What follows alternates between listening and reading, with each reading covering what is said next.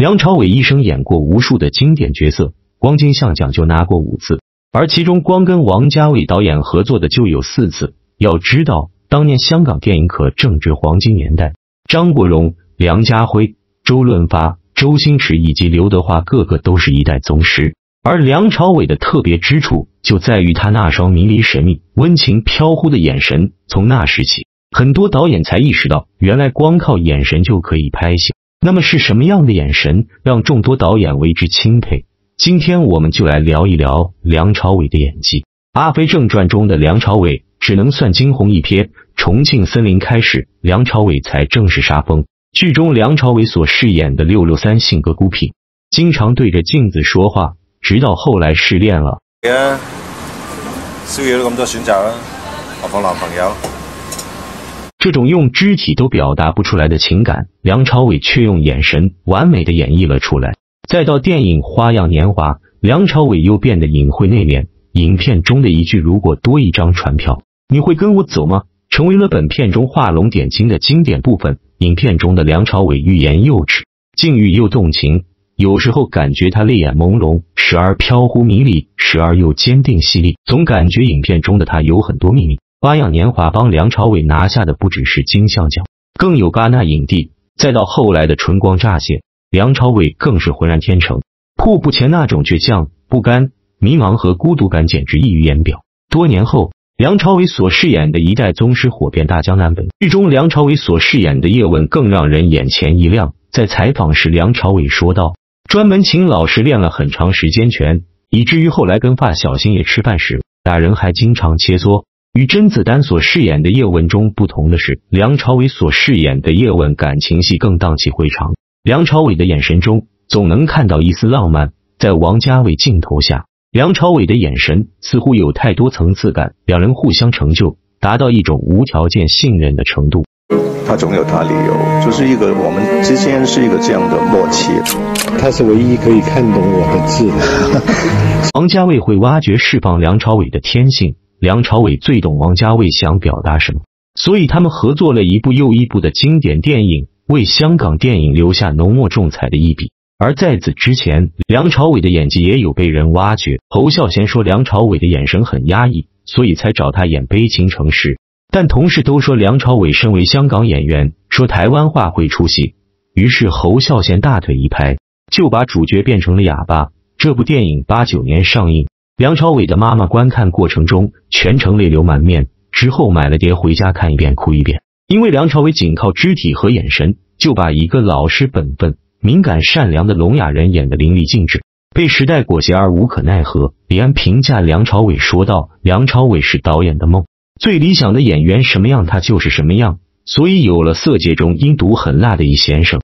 当剧中汤唯饰演的王佳芝看到鸽子蛋之后，动了恻隐之心。”用颤抖的嘴唇讲出“快走”二字时，短短几秒，易先生的眼神从满是柔情变成警觉、质疑，最后到惊恐火速逃走，温柔深情又多一狡黠的眼神，梁朝伟用几秒钟完美展现。说到梁朝伟的演技，又绕不开电影《无间道》剧中的梁朝伟饰演一个卧底警察，当他看到如诗如负的挚友被从天台扔下来的那一刻，眼神中的惊讶、无助又极具隐忍的悲痛。让不少观众折服，但也有观众说影片中的梁朝伟没有表演痕迹。对此，梁朝伟自己说道：“对，做了好多好多的准备，只不过他演到好下不演。入戏永远是难度最高的，所以看到《无间道》影片的最后，梁朝伟的一回眸，让影迷感慨，在大时代下，宿命的悲剧在那一刻显得那么飘渺。梁朝伟的演技帮助他自己登上了演艺巅峰。”然而，刚出道的梁朝伟演的很多角色都是喜剧，比如《鹿鼎记》。金庸对此也评价道：各种版本的《鹿鼎记》中，梁朝伟所饰演的最传神，以及《东成西就》中梁朝伟所饰演的欧阳锋，魔性的香肠嘴和微笑，完全不输于任何喜剧演员。早年，梁朝伟和张学友合作过一部经典电影《亚飞与亚基》，这片子有些地方给人笑的，甚至不亚于喜剧之王周星驰。我们看到梁朝伟驾驭过太多角色。那把角色抽离出来，生活中的梁朝伟好像给人一种疏离感，内敛害羞的性格让他有一种出世的感觉。这样的性格跟他小时候关系很大。梁朝伟的爸爸好赌成性，为此经常跟梁朝伟的妈妈吵架。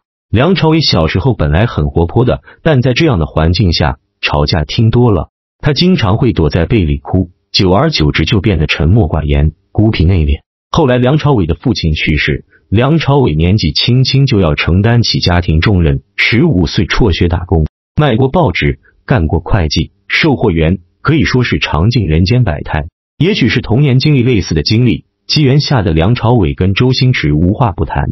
两人经常一起拍点电影闹着玩，周星驰当正派，梁朝伟就当反派，总是两人一顿打，最后反派被打死了。八二年，周星驰听说无线训练班招生，就把梁朝伟拉上了，非要跟他一起试试。当时考的是喜剧，星爷一眼就把人逗笑了。幸运的是，梁朝伟无心插柳，反倒被看中。在后来，梁朝伟成为演员，阴差阳错又一炮而红。十九岁时的梁朝伟就跟刘德华、汤镇业。黄日华、苗侨伟并称 TVB 五虎将，之后就演了各种喜剧。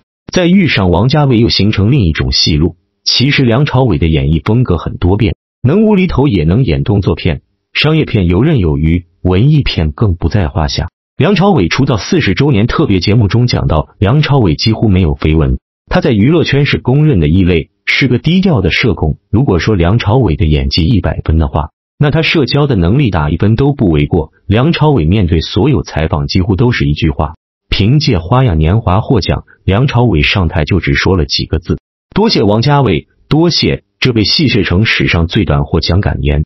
香港作家马家辉就调侃说：“最不想采访的艺人，一个是周润发，另一个就是梁朝伟。”他曾采访问到梁朝伟有什么梦想时，梁朝伟回答：“世界和平”四个字，就可以提前结束采访。也许就是这样谦逊内敛的性格，梁朝伟才能和外向的刘嘉玲走在一起。跟张曼玉的意难平，也许是在过于沉静的角色中不能自拔。生活中，梁朝伟也是个任性的人。关于他最广泛的传闻是想不通时就飞去伦敦喂鸽子。梁朝伟喜欢独处，比如划船在海面上漂。我几乎一个星期五天都在海海上，我在海上，我自己一个人哦。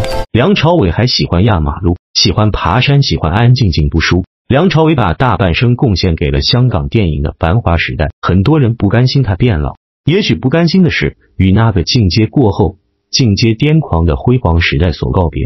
尔东升曾问过一句话：“帅只是很短时间的，你够梁朝伟帅吗？”当然，尔东升想表达的是，梁朝伟外在的帅和魅力来自于他内在的演技和人品。梁朝伟近年出现在大众面前。